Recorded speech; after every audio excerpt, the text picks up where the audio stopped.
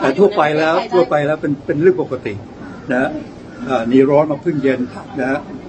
จนถึงขนาดนี้ศรีลังกายังคงให้ใช้พาสปอร์ตนะครับทางการทูตกับโกบาโกตาบายานะครับราชปักษา สิ่งเหล่านี้ก็คงเป็นคำตอบนะครับว่าไทยชักศึกเข้าบ้านหรือไม่ และสร้างความขัดแย้งหรือไม่ ซึ่งตอนนี้ หลังจากที่เกิดความขัดแย้งในประเทศศรีลังกาสถานการณ์จนถึงขณะนี้ได้สงบลงนะครับและมีการจัดตั้งรัฐบาลใหม่เข้ามาทำการบริหารประเทศนะครับและรัฐบาลใหม่ยังคงรับรองเอกสิทธิ์ทางการทูตแก่โกบา โกตาบายานะครับราชปักษา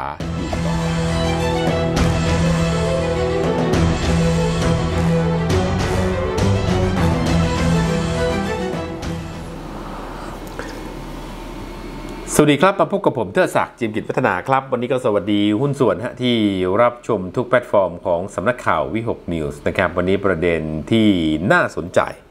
นะครับคงหนีไม่พ้นเรื่องราวของราชปักษาการต่างประเทศนะครับปรากฏว่าเกี่ยวข้องกับประเทศไทยด้วยนะครับเมื่อประมุขของรัฐนะที่ถูกขับไล่จากประชาชนเดินทางเข้ามายังประเทศไทย กลุ่มที่เรียกตัวเองว่า NGO นะครับหรือองค์กรเอกชนที่อ้างสิทธิมนุษยชนก็มีการเคลื่อนไหวในการต่อต้านราชปักษาเดินทางถึงสนามบินดอนเมืองแล้ว หลังบินออกจากสิงคโปร์ด้วยเครื่องเช่าเหมาลำสำนักข่าวเอเจนซี่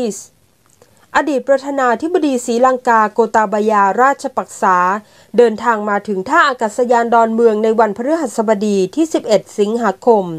หลังบินออกจากสิงคโปร์ด้วยเครื่องบินเช่าเหมาลำ New Indian Express ของอินเดียรายงานวันนี้ 11 สิงหาคมว่า อดีตประธานาธิบดีศรีลังกา โกตาบายาราชปักษา เดินทางออกจากสิงคโปร์มาถึงท่าอากาศยานดอนเมืองของไทย ในวันพฤหัสบดีที่ 11 เวลาราว 20นาฬิกาตามเวลาท้องถิ่น เป็นการเดินทางมาด้วยเครื่องบินเช่าเหมาลำออกมาจากสนามบินเซเลตาของสิงคโปร์ในค่ำวันเดียวกัน โดยในรายงานกล่าวว่า ราชปักษาเดินทางออกมาในวันสุดท้ายของวีซ่าสิงคโปร์ซึ่งเงื่อนไขที่ฝ่ายไทยได้กำหนดไว้ในการอนุญาตให้อดีตผู้นำแดนสิงหน สามารถเข้ามาได้ด้วยการให้คำมั่น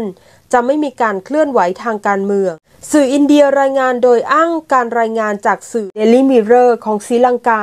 ที่เปิดเผยว่า หลังจากที่เขาอยู่ในไทยเป็นเวลา 90 วันได้สิ้นสุดลงแล้ว ราชปักษาจะเดินทางกลับไปศรีลังกาในเดือนพฤศจิกายนที่จะถึง และในรายงานยังชี้ว่า รัฐบาลศรีลังกาของประธานาธิบดีรานินวิกรมสิงเหได้กลายเป็นตัวแทนราชปักษาออกมาขอร้องโดยตรง กับรัฐบาลไทย ให้อนุญาตให้เขาสามารถพำนักในไทยได้เป็นการชั่วคราว แหล่งข่าวทางการเมืองเปิดเผยว่า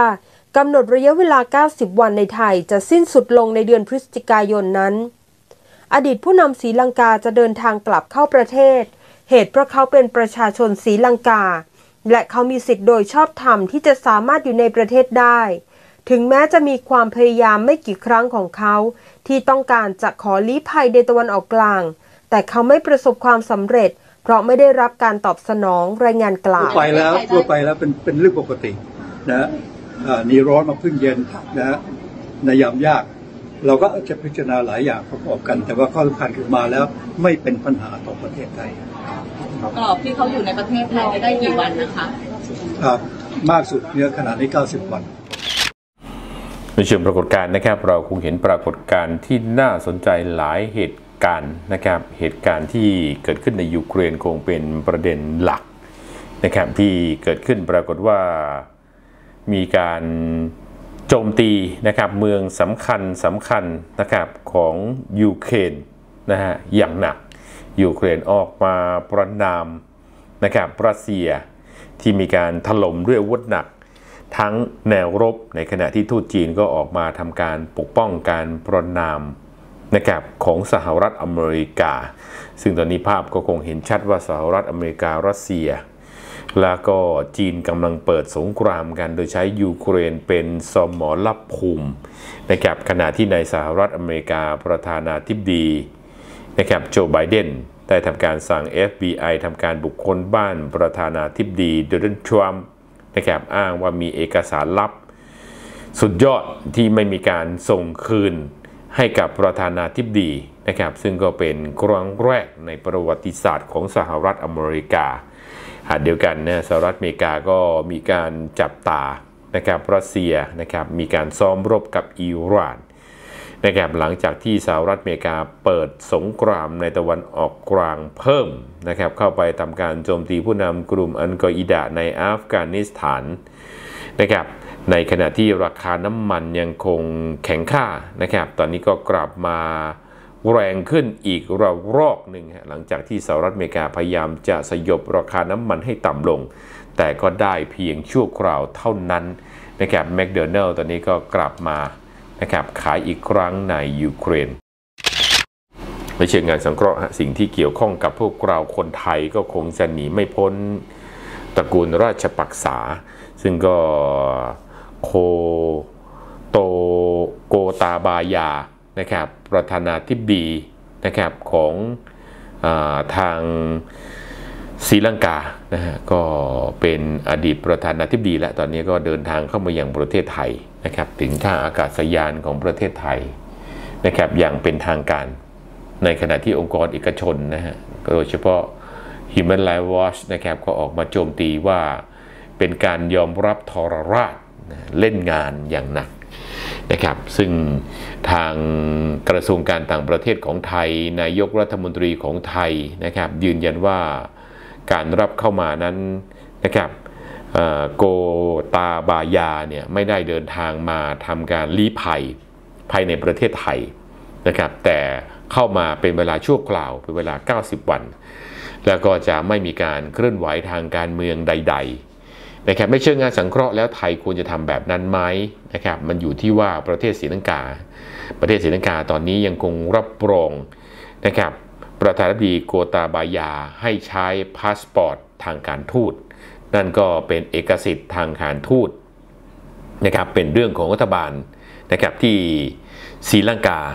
ที่มีการยอมรับนะครับการเดินทางในลักษณะทูตนะครับ ของอดีตประธานาธิบดีนะครับไทยก็ต้องยอมรับนะครับแล้วก็เป็นสิทธิ